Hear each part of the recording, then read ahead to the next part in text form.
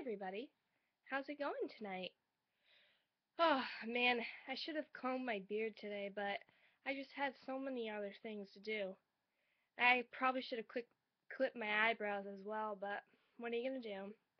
I'm here to talk to you guys tonight about, oh wow, look at that car go by. Whoa, that was fast. Is that a bird out there? Or is that a squirrel?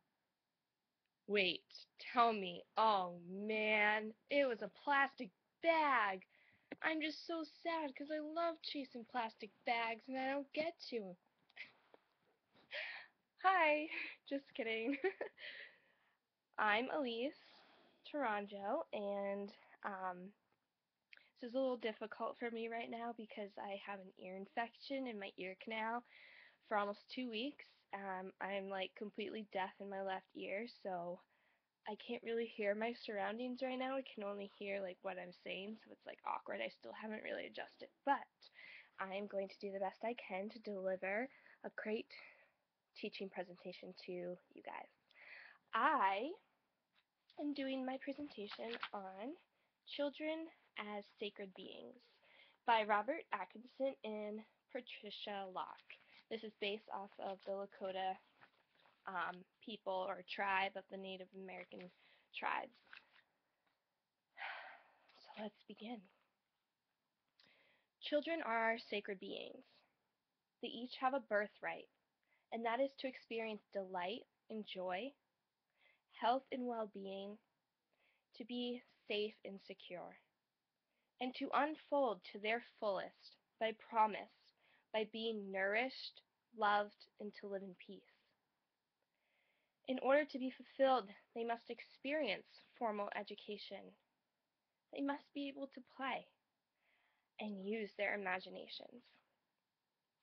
The Lakota culture considers their children to be very sacred. They are a gift from the Creator. Lakota people believe that we are all gifted from the time we were created, and we have a choice to share those gifts with others and make a difference. One person can make a difference. I've always believed that. Lakota children, as well as all children in retrospect, were raised by the elderly in the family. That would even be just a mom and a dad. They are older than the child himself. Because the elders are the wisdom of the people in which we hold the most respect for. They are in charge of passing down the cultural ways of our people so that voices and actions are not forgotten, but rather learned from. And so we must remember in raising our teaching or teaching children that they cannot be subject to abuse and neglect. It has to stop. For those children are truly our gatekeepers of the future, and one day they will be the elders in which we in which are sharing wisdom. Let's make the wisdom promising. One person can make a difference, and it starts with you. It starts with me. It starts with him. It starts with him and her and Tigger. It starts with all of us, okay? We must love one another unconditionally, and especially our children. And this will hopefully lead towards a peaceful, peaceful and tranquil lead. Sorry, can't hurt myself. it will lead towards peace and tranquility for us all. The first thing I would like to talk about, now that we are within the content of this packet that I read, um, since I've worked in the school systems myself and uh, I've had some, I have some crazy stories, you know, even, um, one that really sticks into my mind is a story of a, a four-year-old, and the language that he used it was just um, hard to believe that he you know, even knew such words at such a young age. Um, but the stories he would tell us as how he would be handled at home um, in a wrongdoing um, matter, like he would be spanked or or um, scolded, and and it didn't stop at home; it was even in public. So the Lakota tribe, they stressed that this, these children should be given unconditional love no matter what. So in a wrongdoing, in a matter of wrongdoing, these children should be gently disciplined, and it should be indirect and never in public. Excuse me for a second. Oh, goodness, the kids are at it again. Come with me. I have to solve this.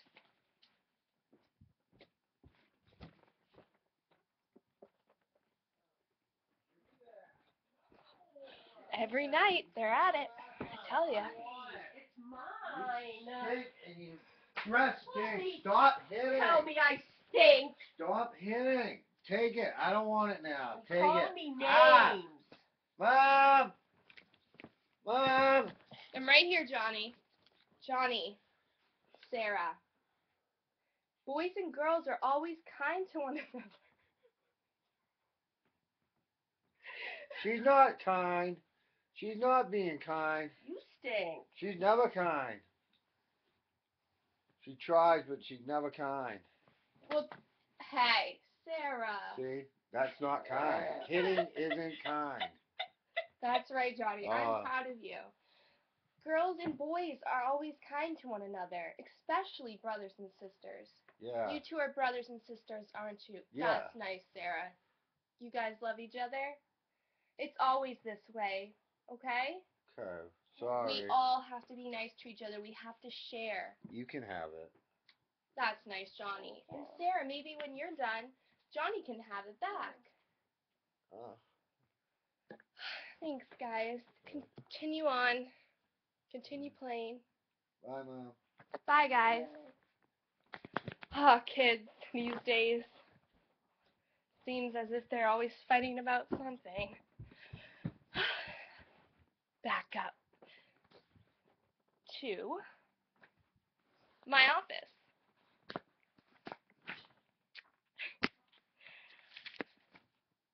So now,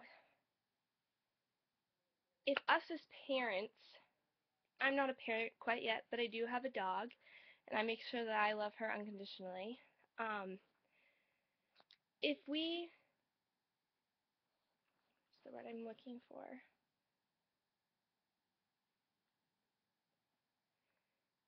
If we show that kind of behavior to our children where we are handling situations maturely with respect and generosity in that we are always giving and teaching wisdom. In turn, we can hope that our kids, when they grow up, will do the same. I feel like today in society, there's too much screen time. Um, kids spend way too much time on computers and TV and iPods and cell phones, and I mean, even as adults, we're guilty of it and we spend less time interacting with each other and experiencing nature, which was extremely important to the Lakota tribe. Um, we are all related. That means trees, animals, boys and girls. We are all related. We must have path, I mean, we must have balance in harmony with all creatures. And once we do that, it is the sign of truly understanding the principles that we are all related. Uh, that we are all related. The Lakota people talked about their values. Number one is courage. Number two is respect. Number three is generosity. And number four is wisdom they're not the only ones that have to practice all four of those values. I feel like those values should be instilled upon all of us. Because, like they said, we are all related. They spoke of courage, as in today's world, this means developing a strong moral capacity to be able to know right from wrong, and true from false, and being able to act upon that knowledge. That is what we should teach our kids. We should be able to lead an upright life, to go through life bravely without a whimper, bearing slander and misinterpretation without stopping to correct them, and enduring loss upon loss without discouragement. We should have respect for each other, for our elders, for all that who we are related to, and for those that we aren't even related to. The Lakota tribe stressed that even um, without blood relation, we are all related because we are all interrelated.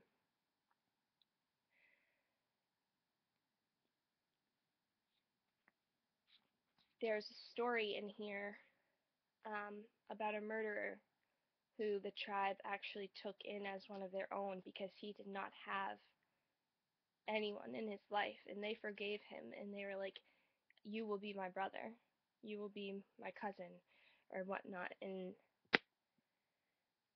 I mean, they broke into him like which with most murder murderers from watching CSI and Criminal Minds, it's hard to um, get emotion out of them. And, and this guy, as they described in the story, you know, cried and just felt overwhelmed with love and compassion.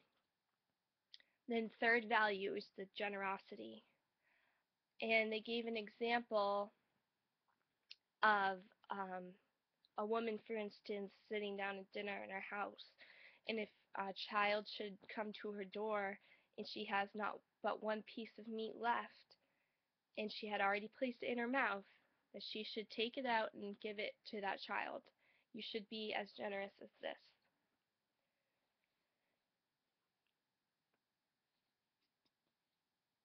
Generosity, they say, in spirit of spirit in today's world means trying to understand and love others beyond the immediate family.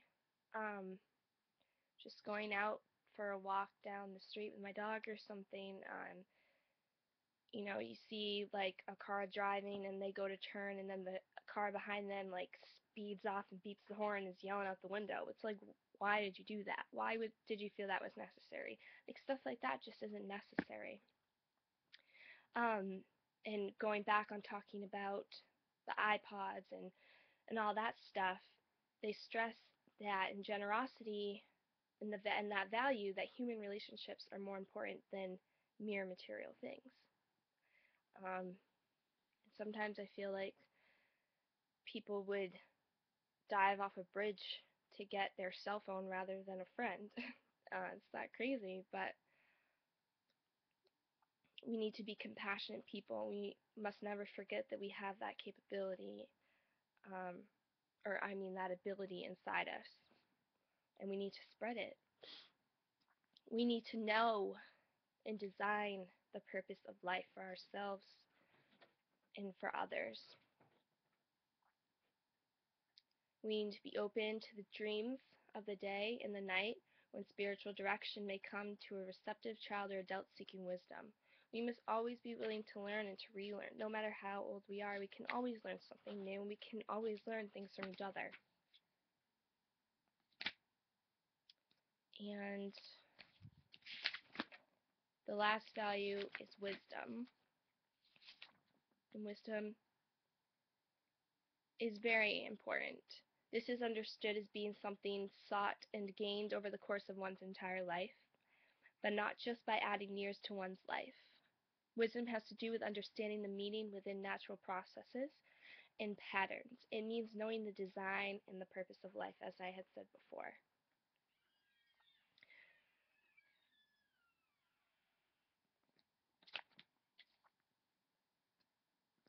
Something I really, now that I've covered the four values, that really stuck out to me because they should be values that are practiced among everybody and not just in this tribe. Um, but they talked about education. in how it's important as teachers um, and even parents that we educate and re-educate. Um, and they gave an example about racism. They said the curriculum in today's society is um, materials that rather that kind of reinforce racism um, and instead that curriculum should help eradicate racism. Racism needs to be a proactive approach in the classroom. Teachers should, and um, if they don't already, they should, explore and examine their own beliefs, values, and biases, just like us counselors, and even work together with one another to overcome individual prejudices.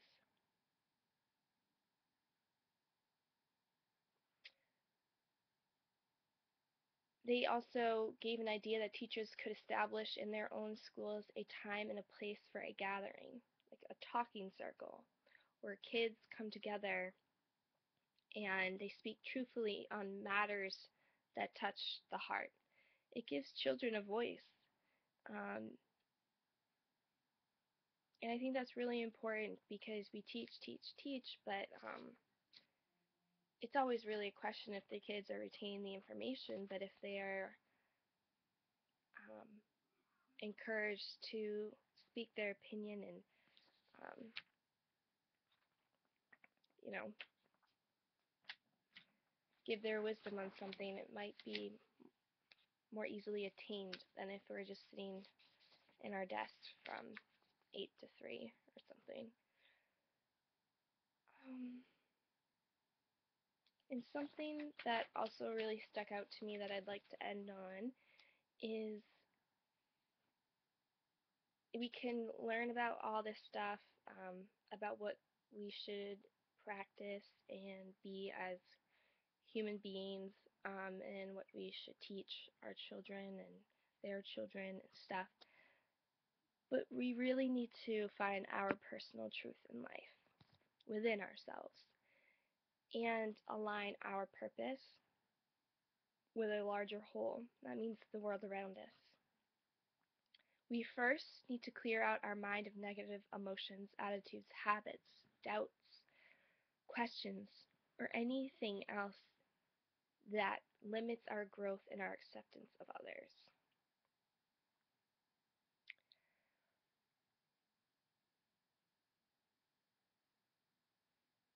And we need to have a worldview of each other, that we are all breathing the same air. We are all intertwined. And the one thing that we all have in common is our diversity, and we should honor that.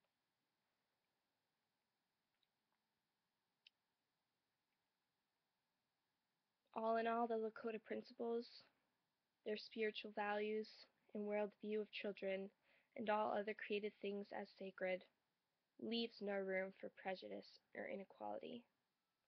I wish to live a life as the members of these tribes have lived.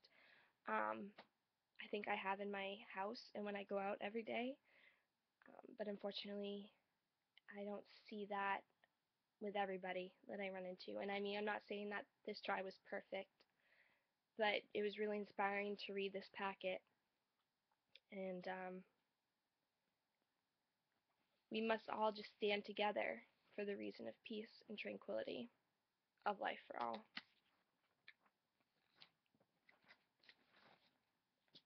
So no matter what, I know I paused a lot in this, um, but I'm a little deaf and it's annoying. Um, just take out of this that love goes a long way and that we must especially love our children and love them unconditionally no matter what because they are the future of this world. They're going to run this world someday. And as we are elders in a retirement home or whatever it may be, we want to um, really see them living productive lives and and um, and be happy the lives that they are living, not discouraged. Don't forget that one person can make a difference. One. I've lived by that since I went to a leadership camp in eighth grade, and I've done my best to live up to that meaning. Be the voice of someone who feels as though they don't have a voice or they're too shy to speak up. Just have a voice and always be willing to learn. And together in this life, we can all learn so much from each other if we just open our eyes and read an article called Children as Sacred Beings. It is really inspirational. I've carried this on far too long, um, so I should go now. And uh, I hope it made sense because if not, it's 21 minutes and well, approaching 22 minutes of not making sense if that's the case. So I hope you guys enjoyed this. Um, happy almost end of semester, and I'll see you later. Love thy children.